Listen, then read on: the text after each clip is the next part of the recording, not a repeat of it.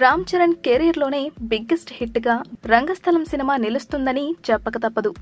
అయితే ఇప్పటికీ ఈ సినిమా రెండు వందల కోట్ల గ్రాస్ సాధించింది. ఇంకా విడుదలైన అన్ని సెంటర్స్ షేర్ రాబోతోంది.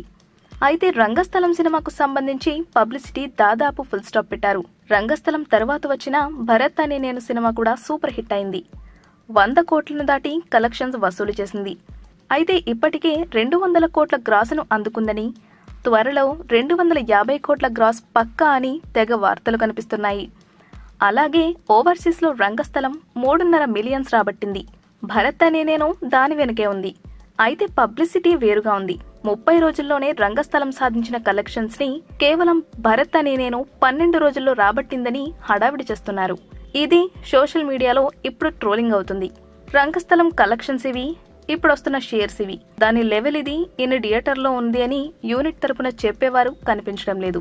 ఇదంతా కావాలనే చేస్తున్నారని మైత్రి మూవీస్కు మహేష్ బాబుకు ఉన్న మంచి సంబంధాల కారణంగానే భరత్కు పోటీగా రంగస్థలం గురించి పెద్దగా పబ్లిసిటీ చేయడం లేదని చరణ్ ఫ్యాన్స్ ఫీల్ అవుతున్నారు.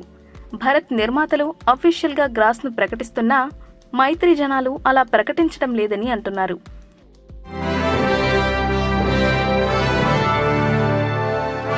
ఈ వీడియో కనుక మీకు నచ్చితే లైక్ చేయండి. మా ఛానల్ని సబ్స్క్రైబ్ చేసుకోవడం మాత్రం మర్చిపోకండి.